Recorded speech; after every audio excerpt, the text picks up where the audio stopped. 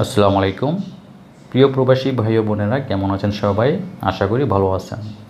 আজকের ভিডিওতে আমি শেয়ার করব আপনাদের জন্য কিছু গুরুত্বপূর্ণ বিষয়। আশা করি সম্পূর্ণ ভিডিওটি দেখবেন, শেয়ার করব বাংলাদেশ হাই কমিশনের ট্রাভেল পাস সম্পর্কে। আলোচনা করব মালয়েশিয়া স্পেশাল পাস এবং আলোচনা করব কারা কারা বৈধ হতে পারবেন এবং কারা কারা বৈধ হতে পারবেন না এ বিষয়ে আলোচনা করব। আশা করি সম্পূর্ণ ভিডিওটি দেখবেন। তো ভিডিও শুরু করার আগে যারা এখনও আমার এই চ্যানেলটি সাবস্ক্রাইব করেননি, চ্যানেলটি সাবস্ক্রাইব করে রাখবেন। মালয়েশিয়া তথ্যভিত্তিক সংবাদ পাওয়ার জন্য পাশে থাকা যে বেল আইকনটি আছে, অবশ্যই ক্লিক করে রাখবেন। আর যারা অলরেডি সাবস্ক্রাইব করেছেন থ্যাংক ইউ সো মাচ প্রিয় মালয়েশিয়ান প্রবাসী ভাই ও বোনেরা, আজকে যে বিস্তারিত আলোচনা করব গুরুত্বপূর্ণ বিষয়, তার মধ্যে প্রথমত হচ্ছে বাংলাদেশ হাই কমিশন থেকে ট্রাভেল পাস তো ট্রাভেল পাস ইতিপূর্বে অনেকেই আপনারা শুনেছেন কীভাবে তুলতে হয়, কীভাবে কি করবেন, যাদের মূল পাসপোর্ট আছে।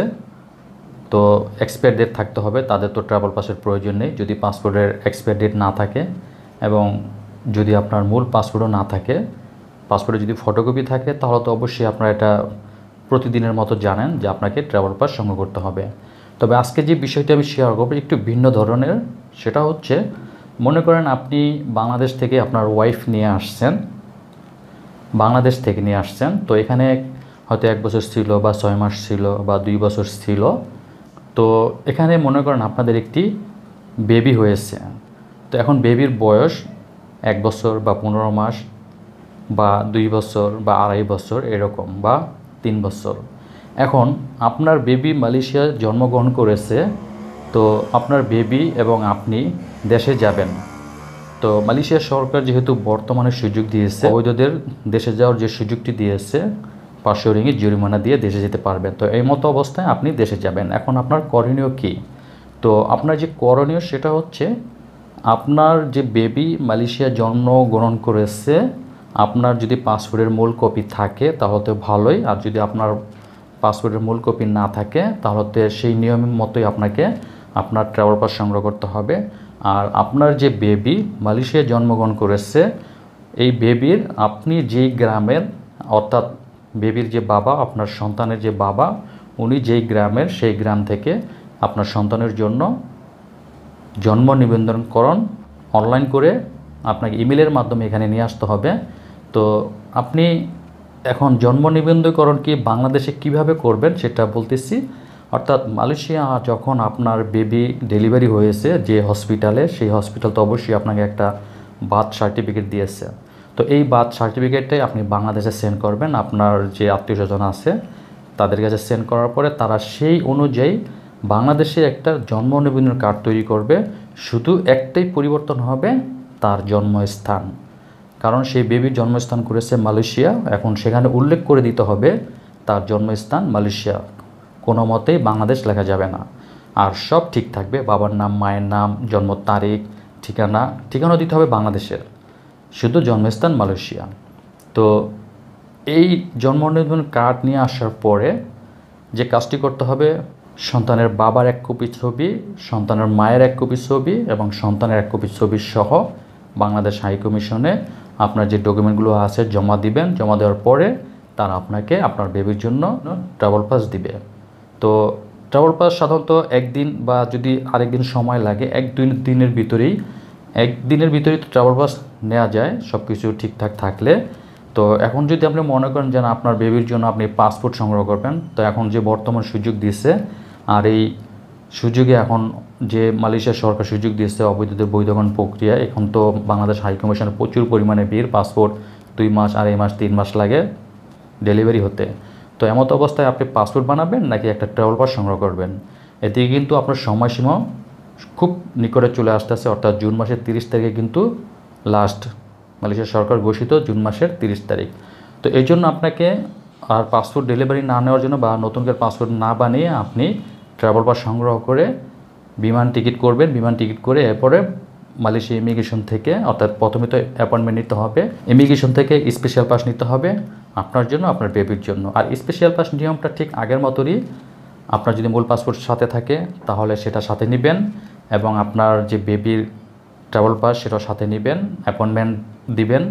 কোন দিন আপনি ইমিগ্রেশনে যাচ্ছেন, সেই ডেট অনুযায়ী যাবেন এবং সেখানে আপনার যে জরিমানা পাঁচশো রিঙ্গিত সেটা কার্ডের মাধ্যমে পেমেন্ট করতে হবে। সে আগের মতোই তো এইভাবে স্পেশাল পাস সংগ্রহ করবেন। আপনি যেদিন যাবেন, সেদিনই কিন্তু আপনাকে স্পেশাল পাস দিয়ে দেবে, সেদিন আপনার কাছ থেকে ফিঙ্গার নেবে।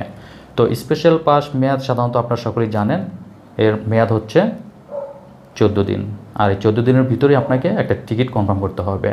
তো আশা করি আপনারা বুঝতে পারছেন এই সিস্টেমটি এখন যে বিষয়টি শেয়ার করব সেটি হচ্ছে যারা যারা বৈধ হতে পারবেন না এ বিষয়ে আমি পূর্বে অনেক ভিডিও দিয়েছি। সেটি হচ্ছে কারা কারা বৈধ হতে পারবেন না প্রথমত হচ্ছে মালয়েশিয়ায় যদি আপনি প্রবেশ করে থাকেন ইমিগ্রেশনে যদি আপনার রেকর্ড না থাকে আপনি বৈধ হতে পারবেন না বর্তমান সুযোগ দেওয়া সত্ত্বেও। মালয়েশিয়া সরকার যে সুযোগ দিয়েছে, এই সুযোগে আপনি বৈধ হতে পারবেন না। আপনার বয়স যদি পঁয়তাল্লিশের উপর হয়, আপনি এই সুযোগ পাচ্ছেন না। আপনার কোনো পুলিশ রিপোর্ট, আপনার নামে যদি কোনো পুলিশ রিপোর্ট থাকে, কোনো ব্ল্যাক লিস্ট থাকে, আপনি মালয়েশিয়া সরকার যে সুযোগ দিছে এই সুযোগ পাচ্ছেন না। সিক্স পি যারা করেছিলেন দু হাজার এগারো সালে, তো সিক্স পি যারা করেছিলেন, যারা অবৈধ হয়েছেন, তারা এই সুযোগ পাচ্ছেন না। এবং বর্তমানে কিন্তু যে অনেকেই ফিঙ্গার করতে গেছে ইমিগ্রেশনে তাদেরও অনেক রিটার্ন দিয়েছে। তাদের মধ্যে হচ্ছে পূর্বে যারা দুই হাজার ষোলো, সতেরো সালে রিহায়ারিংয়ের মাধ্যমে বৈধ হয়েছিলেন, বৈধ হওয়ার পরে যারা আবার অবৈধ হয়েছেন, তারা কিন্তু এই সুযোগ পাচ্ছেন না। অনেকে কিন্তু রিটার্ন আসছে।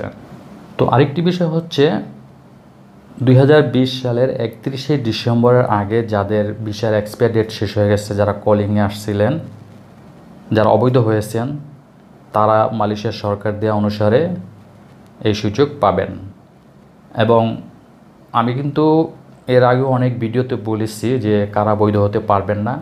তো নদীপথে যারা আসছেন, যাদের রেকর্ড নেই, যারা নৌকাপথে আসছেন মালয়েশিয়া প্রবেশ করেছেন রেকর্ড নেই, তারা কিন্তু বৈধ হতে পারবেন না। তো আমাকে আপনারা অনেকেই, যখন আমি কোনো ভিডিও আপডেট দিই প্রায় কিন্তু দেখি আপনারা এই কমেন্টগুলো করে থাকেন।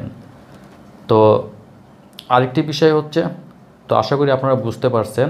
আর আজকে যে বিষয়গুলো শেয়ার করেছি, আপনারা এই বিষয়গুলো আমার কাছ থেকে জানতে চেয়েছেন। বিদায়, আজকে আবার ভিডিওর মাধ্যমে আমি বলতেছি। আরেকটি বিষয় হচ্ছে, আপনারা জানতে চেয়েছেন যে বর্তমানে যারা বৈধ আছে, তারা কি ছুটিতে যেতে পারবে কি না হ্যাঁ ছুটিতে যেতে পারবেন, তবে আপ ডাউন টিকিট না করে সিঙ্গেল টিকিট করে যাবেন। আপনি বৈধ আছেন সিঙ্গেল টিকিট করে যাবেন। আসার সময় আবার যদি মালয়েশিয়া সরকার যখন আপনাকে প্রবেশের অনুমোদন দিবে, আপনি তখন একটা সিঙ্গেল টিকিট করে প্রবেশ করবেন।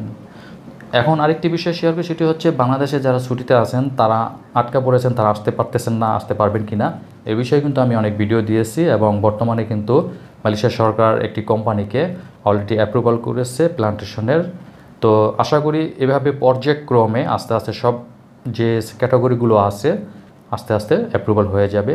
হয়তো এখন প্লান্টেশন দিচ্ছে, কিছুদিন পরে আবার হয়তো এগ্রিকালচার কনস্ট্রাকশন ম্যানুফ্যাকচারিং এরপর হয়তো সার্ভিস সেক্টর তো বাংলাদেশে যারা আছেন, ছুটিতে যারা আটকে পড়ে আছেন, আস্তে আস্তে পর্যায়ক্রমে সব কিছুই ঠিকঠাক হবে, তবে অবশ্যই আপনাদেরকে একটু ধৈর্য ধারণ করতে হবে।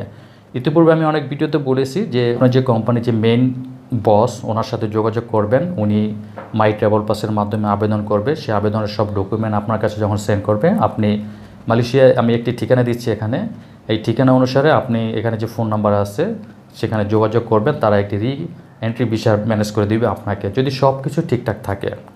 তাহলে তারাই আপনাকে রিএন্ট্রির বিষয়ে ম্যানেজ করে দিবে। তো তো আসলে আজকে যে বিষয়গুলো শেয়ার করেছি, আপনাদের অনেক গুরুত্বপূর্ণ বিষয়গুলো শেয়ার করেছি। আজকের মতো এখানে। আগামীতে আবার আসব নতুন কোনো তথ্য নিয়ে, নতুন কোনো বিষয় নিয়ে। সে পর্যন্ত সকলেই ভালো থাকুন, সুস্থ থাকুন। এই কামনা করে বিদায় নিচ্ছি। আল্লাহ হাফেজ।